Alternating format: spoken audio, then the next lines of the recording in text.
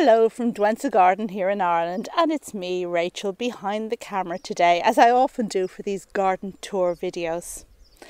It's a beautiful morning, and today we're going to take a look around my garden and have a look at the tulips because my tulips are in full bloom at the moment. So come with me and let's get to it.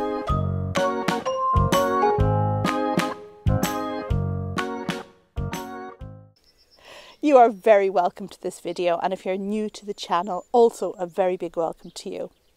Before we start walking around the garden, just a few words. And those two words are to let you know that my garden is based in Wexford in Ireland in what is roughly equating to zone 9. So we don't use zones in Ireland, but if we did, we would be in zone 9. We have mild winters but lots of rain. And the next thing to let you know that the garden is about an acre in size, which is half a hectare. So plenty of walking around to do today, and we had better get on with it. We start off here on the drive right in front of the house and we're going to venture into this side of the garden, this side on the right, and there's lots looking good in here.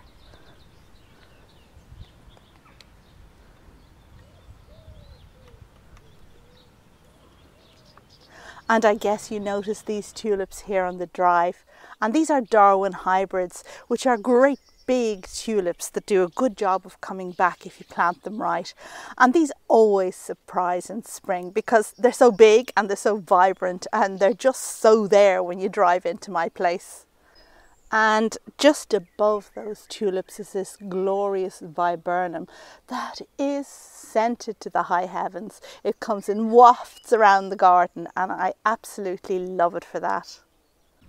And just to the left of the viburnum, we have the promise of more tulips in the shape of two parrots that are just about to open. And these ones, for some bizarre reason, these two have come back year on year in just this particular spot, which is weird because parrots normally don't. Okay, so leaving behind the parrots and the irises, which you see there in front of you, you can see a primrose, which is just going over. You can see a rhododendron, which is just coming. And this is the great thing about spring. And you can see lots of buxballs and cloud pruning just behind. But we're going to go right over there now. Since we were here last, I've been doing some work on the long border and you can see it there behind. Now in this section of the garden, some work has been happening in the shape of my own homemade compost, which has been laid on this particular border here, but also on the long border behind. And here is the left arm or the left central piece of my long border, which has just been given a whole load of mulch and is looking so much the better for it. And this is my homemade compost. It's very nutritious stuff and it does the border so much good, but it never goes far enough. I never have enough. And the thing about it as well, and we'll talk more about compost near the end of this video, the thing about it is I cold compost. So that means the center of the compost heap never gets really, really hot with the result that I do have flower seeds in here which will pop up around the place. Even some weed seeds, no perennials because that doesn't go in. But the result of that is that I'll have to come back here a couple of weeks after laying the mulch and weed again. And if you look closely here at the long border, you can see the spot where I stopped putting mulch on, which is just at that yellow euonymus bush to the very front of this scene. Can I point to it right in there? No mulch there, lots of mulch there. Now you may recall when we last looked at this border, the soil was so, so stony and I do my best to put the mulch each year in a different place to kind of enrich the soil a bit this beautiful tulip called ballerina is now in full flower and all I can say is that I definitely want more of it. I absolutely love the arrangement of colours and shapes in this elegant and tall looking thing which is really quite small but looks so so good in the border. And can you see that peony there behind, which is waking up and showing its buds? And that's the next thing to look forward to after the tulips for me, anyway. It's the peonies, my favourite herbaceous plant. And we have erythroniums and podophyllum over the shady section of this border trees are waking up and it happens so very quickly. One day you just see a spot of green on a bare twig, the next day that's kind of breaking out. And then before you know it, you have full blown leaves, like in this beautiful acer here. And can you see what I see? The cherry blossom tree, the big one in the centre of the garden, is coming into flower. And what a beautiful, beautiful sight it is.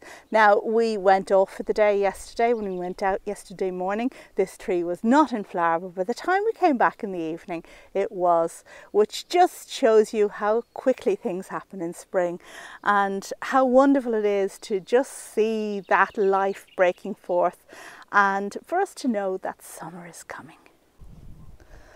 And over here we have a quick glance at the cardiocrinum lilies that I transplanted last summer. Now these are the giant Himalayan lilies and anyway there's a video about it if you want to learn more but I wonder I wonder I wonder I don't see any evidence of buds yet so maybe they're not going to flower this year but they're healthy and that's the main thing. So now we're going to leave this section of the garden behind and venture up here where I have so many tulips to show you and some other things. One of the flowers I really love at this time of year is the wood anemone, and this particular one is called Robinsoniana, obviously named at a time when the convention for naming cultivars was such that you were allowed to use Latin names. Anyway, this one is gorgeous and blue or almost blue, I suppose kind of violet, and I just love it at this time of year. Such a small thing, so unobtrusive, something that I guess many people might notice, but I certainly notice it and love it. Another small favourite of mine at this time of year is this Omphalodes called Starry Eyes, and I absolutely love it with its blue centres and white edges to the flowers. A thing that is really easy to take care of. I think I talked about it in the February garden tour on what you need to do to make it look good in spring, i.e., cutting it back. But it is such a great thing, and I have it here at the edge of the hellebore bed. And just to the right of it, we have another clump, but as you'll notice, this clump is just the plain pure blue flower. And that's because this comes as a result of seeds from the first. It doesn't come true from seed. So it will seed about, you will get more plants, but they won't be true. You need to divide starry eyes in order to get something that will look like the parent. And now we're going to walk into this section of the garden where I have lots and lots of tulips planted. And these here over here, these are the white ones that you saw at the beginning of this video. And then if I just pan over here,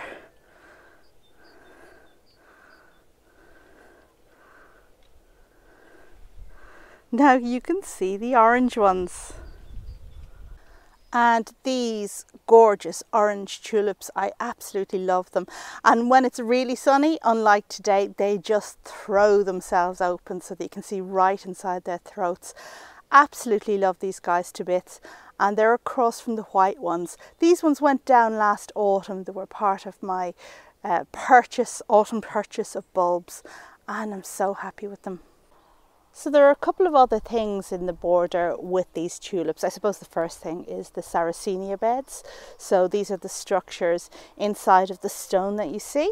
And these are carnivorous plants that will flower soon.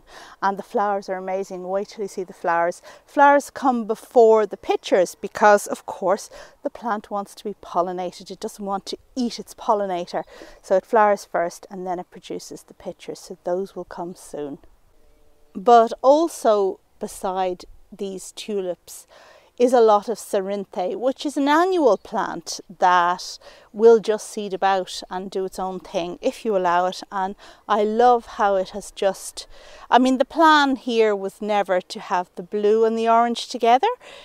I saw that the cerinthe was there, but I can't honestly say that I, in all consciousness, thought it would look this good, but it really does.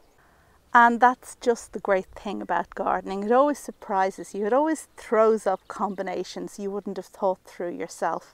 And a lot of them are really, really good. And I guess some of you will recall my garden tours last year where I was thinning out this annual, kind of just making sure that it landed where I wanted it to land and not where it wanted it to land so that it would have space and all that kind of thing. And yeah, you do this and then you get a beautiful surprise when the thing comes into flower and looks this wonderful in combination with these tulips. And on the other side, we have the white tulip here, Purissima, this one is called. And it's losing some of its petals now at this stage, thinking about going over. But I do love this one, a really reliable flower. In fact, you're going to see some more of this tulip up at the top of the garden. I love it so much and I find it so reliable that I've planted lots. The orange one is the same group, it's Fosteriana, so it should be just as reliable and I hope to see it for many years coming back and back and back. And yeah, we'll see it in lots of garden tours as time goes on. You may have noticed a couple more peonies in here among the tulips, one of which is this intersectional one, which hasn't yet been pruned, and that's because I do plan on making a peony pruning video. So, yeah, I hope I get around to it because they do look a bit scruffy until that job's done. This bed, of course, was planted up last summer and yeah, I think I made a video about it. You'll recall this perennial wallflower here at the front was one of the plants I put in. Okay, so as you can see there's a camellia in flower at the back of the tulips, a red camellia against the orange. I'm not sure that's the best combination. Certainly didn't think through it enough, but it's okay and some of the camellia flowers are actually gone brown. They should have been twisted out before I made the video but you know what? I didn't. A little further up we have some of those primroses you saw in the last video. This one here my favorite white one looking absolutely fabulous at the moment.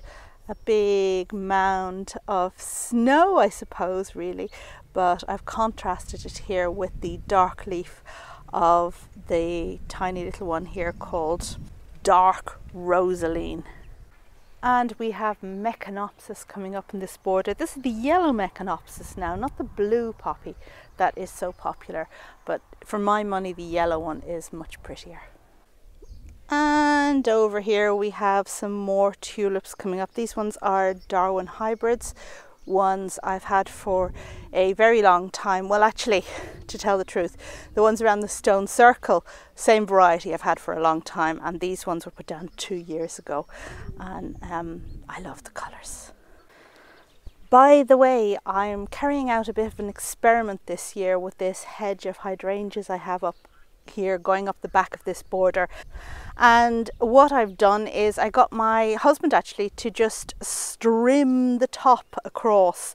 Normally hydrangeas, these kind of hydrangeas, the macrophylla ones, need to be pruned by hand each time you remove the deadheads. I suppose essentially it's deadheading and you end up with a very good end product. But it's a lot of work. So this year I just tried strimming the top and we'll see if I get as many flowers as I did before with the other method. And over here we have a number of things I want to show you. The euphorbia at the front, my favorite euphorbia, looking absolutely fabulous. We have a magnolia stellata on the left in flower and I think I see the first tree peony flower opening just behind. Let's go and have a look at it. And here's that little path flanked by the Magnolia stellata, just inviting us to come down and take a little look and see what's changed since the last time we walked down here. One thing you will notice is that the Acer tree there on the right is now in full leaf, which is great because it certainly wasn't last time we were here. And there's that tree peony flower. It's not quite open. They are lovely when they open fully and it's a bit to go yet. And I love how the foliage on this one is really quite bronzy. It kind of shows off the flower quite well. This is a nicely vigorous tree peony. You may have noticed my other wimpy one on the other side which just does not behave but this one it does what it's supposed to and it looks great. And over on the left, we have erythroniums looking really quite well. The sanguinaria, which is the white fluffy one that you see on the left, is finished now. It's dropping its petals. Such a shame. I wanted to show you that in full flower, but we missed it. Erythroniums, like trilliums, are North American woodland plants, and a lot of those woodland plants are so choice over here in Ireland. They're just something very desirable because obviously it's not native to here, and they do well. They do well in a woodlandsy setting over this side of the ocean as well. And a little glance at my trilliums, which were moved not last year but the year before, whatever. Anyway, if you've watched the videos for a while, you'll recall when I moved these. Don't know how this view is coming out. We're just glancing through the planting in this flower bed to the section we left with the, um, remember with the orange tulips just a moment ago. And here we have another wood anemone. This time it's an Irish cultivar called Lucy's Wood it you might think it's quite similar to the Robinsoniana, slightly different. I mean, this is so the way with most cultivars. between the difference between many of them is quite negligible, but this is a lovely little thing, and for its connections, I grow it and I love it. And yeah, I suppose uh, it's not my favourite wood anemone, nor is Robinsoniana. My favourite is the one called Vestal that isn't open yet. Right, tulips over there. Let's go and have a look at them. And here we have a little glance at my two greenhouses. The glass house is actually planted with Fosteriana purissima tulips here at the front. And I have some yellow ones, viridiflora ones in pots outside the other greenhouse, the new greenhouse. But let's have a look at the white ones first. And I guess as we've progressed around the garden, the sun has come out a bit more because these tulips are throwing themselves open just that bit more. They're also nearing the end of their flowering, and you can tell that by the fact that a few petals have dropped. So I was very anxious to get out and film this for you today before they disappear completely. You'll notice a couple of yellow and orange tulips dotted here and there in among the white ones. And these are ones that have been down a few years. They well yeah i put them down on video. I've been doing youtube so long now that i think i've done most things in the garden in video for the last while. So yeah if you want to see a video you can find it just to let you know, I am experimenting with a new camera at the moment and really haven't got the hang of it. So I hope that you'll notice the quality of the photography in this video is better and was in Keukenhof, for example, that other video I did. But my ability to maneuver and do sweeping shots is somewhat diminished. I guess I'll get the hang of it in the end, so just bear with me. And over there we have the stone table complete with a trug of stuff that needs to be put on the compost heap. And here's a shot going across showing my crocus foliage on the left, my cherry tree just coming into flower, and the tulips on the right. And I was sure you'd like to have a quick look at these yellow tulips up here by the greenhouse. These are ones that I potted up last autumn. They're viridiflora tulips, which means they have green in the petals. and therefore a bit more chlorophyll, very likely to come back if they hadn't been planted in pots. So what I'm going to do with these is make sure I deadhead and feed them and then plant them out in the garden in autumn. And if I plant them deeply enough, as we almost do with Darwin hybrids and viridiflora tulips, basically the return flowering ones that aren't botanical, then hopefully they'll come back again. I actually really, really love these ones. Their shape is very elegant. They're open now a bit because of the sun, but they when they close up you can see a very very elegant form. And as a bonus they are actually fringed. So there's a fringed effect along the edge of the tulips which I wasn't expecting at all but I just love it. And just over here behind the glass house we have my newly planted daylily border. And it's full of tulips that are going to flower very very soon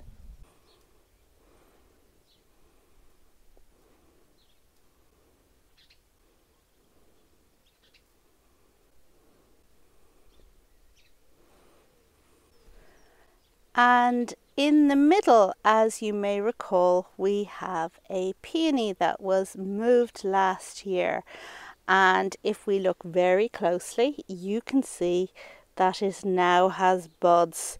So I can only say that my method for moving peonies, as you saw in my last video, is good because not only has this moved successfully, but it is going to flower this year without interruption, which is great. And now we are just coming to the end of the video but before we do I thought I would give you a look at the big project that's underway at the moment which is moving the compost so if you only like to see nice gardens then I guess this is the moment when you look away because we're going over now to see just left of the greenhouse what exactly is going on. So this is the last of my compost heaps to be moved and you can see how very unglamorous this is. It is not like it's supposed to be in the textbooks but you know what? It works for me. It has always been said that there are two ways to make compost. You can either make compost well or you can make it easily. And I choose easily because I don't have time to be layering and getting a hot interior and all that kind of stuff. The result is that your compost is, is unsightly and actually it's going to be unsightly anyway, I think. So we're moving it somewhere else in the garden where it will be seen less. And of course, when the compost is moved, the stuff that is properly degraded at the base of the compost is being exposed. And that's what's going on my flower beds down below. Not what you see in the wheelbarrow here. This still has to be digested down a bit further before it can be useful. And there you have it. You have very much seen behind the scenes at Douentza Garden because every garden has a mucky side as well. You know, there's stuff you need to do to get the garden looking good. And that involves things like weeding and making compost. And so often this is kind of glossed over when we make garden tour videos, but there is that whole other element to it.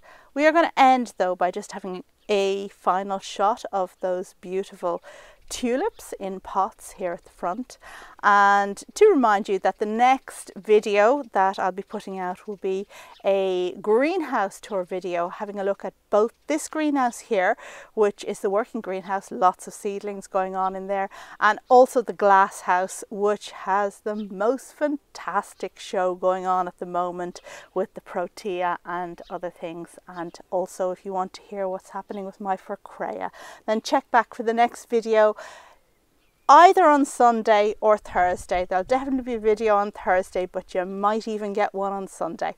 See you soon. Thanks for watching. Bye.